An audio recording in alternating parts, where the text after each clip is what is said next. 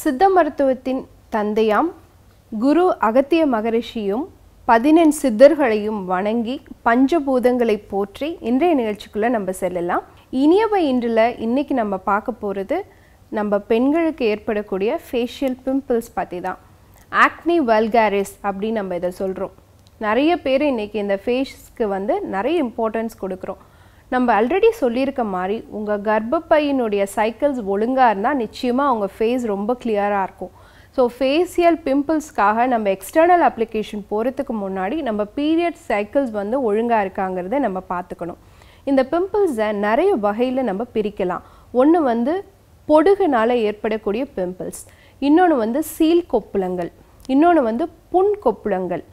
இன்னொன்று வந்து பார்த்தீங்க அப்படின்னு சொன்னால் நம்மளுடைய சீல் கொப்பளங்களை தொடர்ந்து அந்த இடத்துல கருப்பான கருந்திட்டுகள் ஃபார்ம் ஆக ஆரம்பிச்சிரும். இது எல்லாமே பிம்பிள்ஸோட வெரைட்டிஸ் தான். ஸோ இந்த ஏற்படுறதுக்கான முக்கியமான காரணம் நம்ம தோலில் சீபம் அப்படிங்கிற செக்ரீஷன் இருக்குது ஸோ இந்த செபேஷியஸ் கிளாண்டோடைய செக்ரீஷன் தான் நம்ம சீபம் அப்படின்னு நம்ம சொல்கிறோம் இந்த செபேஷியஸ் கிளாண்ட்ஸ் எங்கெல்லாம் அடர்த்தி அதிகமாக இருக்கோ அங்கெல்லாம் நமக்கு பிம்பிள்ஸ் வரும்.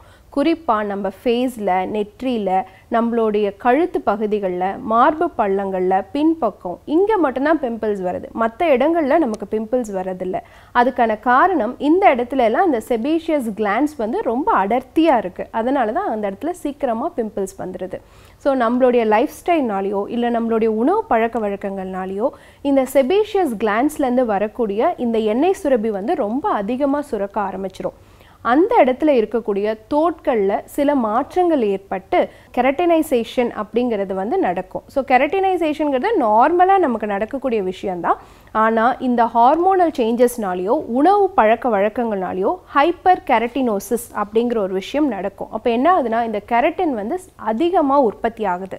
அதனால் என்ன ஆகும்னா அந்த இடத்துல இன்ஃபெக்ஷன்ஸ் ஏற்பட்டு ஏற்கனவே நம்ம எண்ணெய் சுரப்பி அந்த இடத்துல அதிகமாக சுரக்கிறதுனால எல்லாம் ஒன்றா சேர்ந்து ஒரு லம்ப்ஸ் மாதிரி ஃபார்ம் ஆகிடும் ஸோ இந்த கொப்புளம் எந்த இடத்துல போய் உட்காரும் அப்படின்னு சொன்னீங்கன்னா நம்மளுடைய ஹேர் ஃபாலிக்கல்ஸ் இருக்கு இல்லைங்களா அதை போய் அடைக்கிற மாதிரி போய் அந்த இடத்துல இந்த கொப்புளங்கள் உட்காந்துரும் ஸோ இந்த கொப்புளங்கள் தான் பின்னாடி சீல் கொப்புளங்களாக மாறி அது புண் கொப்புளங்களாக மாறி அதுக்கப்புறம் அதில் இன்ஃபெக்ஷன்ஸ் ஏற்பட்டு தொடர்ந்து அந்த இடத்துல வந்து ஸ்கின் கலர் கருப்பாக மாறிடுது கரும்புள்ளி மாதிரி ஆயிடுது.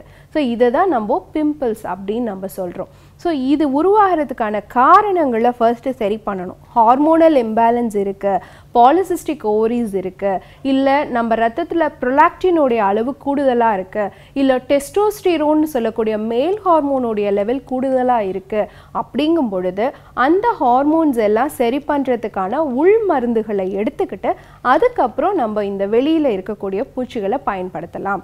ஸோ சப்போஸ் பொடுகுனால உங்களுக்கு இந்த மாதிரி ப்ராப்ளம் இருந்துச்சு அப்படின்னு சொன்னால் முதல்ல பொடுகை குறைக்கக்கூடிய உணவு முறைகளை நம்ம ஃபாலோ பண்ணணும். அதே மாதிரி அதுக்கான வெளிப்புற ஷாம்புவோ இல்லை தைலங்களையோ நம்ம பிரயோகித்து முதல்ல பொடுகை குறைக்கணும். ஸோ பொடுகை குறைக்கும் பொழுது அதனால் ஏற்படக்கூடிய வேர்க்குறு மாதிரியான குட்டி குட்டி கொப்புளங்கள் சீக்கிரம் சரியாயிடும். அடுத்து பிசிஓஎஸ் சம்பந்தமான ஹார்மோனல் இம்பேலன்ஸ்னால ஏற்படக்கூடிய சீல் கொப்புளங்களை குறைக்கிறதுக்கு நம்ம மாதாந்திர ருது சரியாகிற முறையில் நம்ம ட்ரீட்மெண்ட் எடுத்தோம்னா கண்டிப்பாக அந்த பிம்பிள்ஸ் குறையறதுக்கு வாய்ப்புகள் இருக்குது அதை நம்ம வெ உள்ளேயும் சரி பண்ணிக்கிட்டு வெளியே எப்படி சரி பண்ணலான்னா நம்மளுடைய செஞ்சந்தனம் ரத்த சந்தனம்னு சொல்லுவாங்க இந்த மாதிரியான சந்தனத்தை நம்ம நாட்டு மருந்து கடைகள்லேயே வாங்கிக்கலாம். அதை வந்து பாலில் இழைச்சி இல்லைன்னா பொடியாக கிடைச்சதுன்னா பொடியை வந்து பாலில் கழக்கி அந்த பிம்பிள்ஸ் இருக்க ஏரியாவில் நீங்கள் அப்ளை பண்ணிகிட்டே வந்தீங்கன்னா அந்த கருப்பு கலரில் அந்த பிம்பிள் மாறாமல் அதுவே அமுங்கிறதுக்கான வாய்ப்புகள் இருக்குது அடுத்து நம்மளுடைய கொப்புளங்களில் வந்து பார்த்திங்கன்னா அரிப்பு ஏற்படுது அப்படிங்கும் பொழுது கண்டிப்பாக அந்த இடத்துல ஏதோ ஒரு பாக்டீரியல் இன்ஃபெக்ஷனோ இல்லை ஏதோ ஒரு ஃபங்கல் இன்ஃபெக்ஷனோ உருவாயிடுச்சு அப்படிங்கிறது அர்த்தம். ஸோ அதை நீங்கள் சரி பண்ணிக்கிறதுக்கு ஆன்டி மைக்ரோபியல் ஆன்டி வைரல் இருக்கக்கூடிய மூலிகைகளை நம்ம பயன்படுத்தணும். So anti bacterial anti viral இருக்கக்கூடிய முக்கியமான மூலிகைன்னு பார்த்திங்கன்னா வேப்பிலை தான். ஸோ இந்த வேப்பிலையோட அருகம்புல் சேர்த்து அது கூட விராலி மஞ்சள் பொடி. நிச்சயமாக அதுக்கு நமக்கு ஆன்டிபாக்டீரியல் ஆக்டிவிட்டி இருக்குன்னு தெரியும். ஸோ அந்த விராலி மஞ்சள் பொடி இது மூணும் சரி விகிதத்தில் நீங்கள் யூஸ் பண்ணணும்.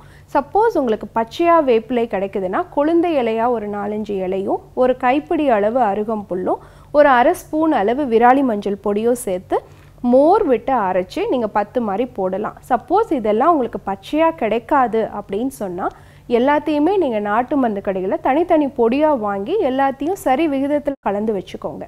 அந்த பொடியை நீங்கள் இரவில் கொஞ்சமாக மோரில் கலந்து உங்கள் ஃபேஸில் அப்ளை பண்ணிவிட்டு வாஷ் பண்ணிவிட்டு நீங்கள் படுத்துக்கலாம். ஒரு பத்து பதினஞ்சு நிமிஷம் கழித்து வாஷ் பண்ணிவிட்டு படுத்துக்கலாம். ஸோ இந்த மாதிரி தொடர்ந்து நீங்கள் பயன்படுத்திகிட்டே வரும்பொழுது உங்கள் ஃபேஸில் இருக்கக்கூடிய சீல் கொப்பளங்கள் மாறுறதுக்கான வாய்ப்புகள் இருக்குது அதை தாண்டியும் உங்களுக்கு அரிப்பு இருக்குது எண்ணெய் வடிஞ்சிக்கிட்டே இருக்குது அப்படின்னா நம்மளுடைய சித்த மருத்துவத்தில் திரிபலா சூரணம்னு கிடைக்கும்.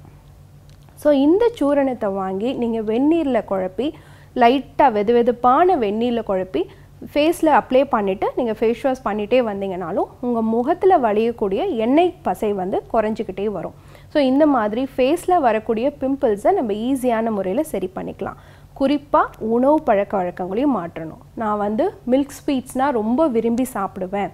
சாக்லேட்ஸ்னால் ரொம்ப விரும்பி சாப்பிடுவேன். அப்படின்னா சாக்லேட்ஸ் ஏன் சாப்பிடக்கூடாதுன்னா அதில் இருக்கக்கூடிய அனிமல் ஃபேட் வந்து பிம்பிள்ஸை ரொம்ப அதிகப்படுத்துது. ஸோ நிறைய பேர் பார்த்தீங்கன்னா இன்றைக்கி இந்த பார் சாக்லேட் சாப்பிட்றதுங்கிறது ஒரு வழக்கமாக வச்சுருக்கோம். ஸோ இதெல்லாம் சாப்பிடும் பொழுது கண்டிப்பாக பிம்பிள்ஸ் வந்து அதிகமாக இருக்கும்.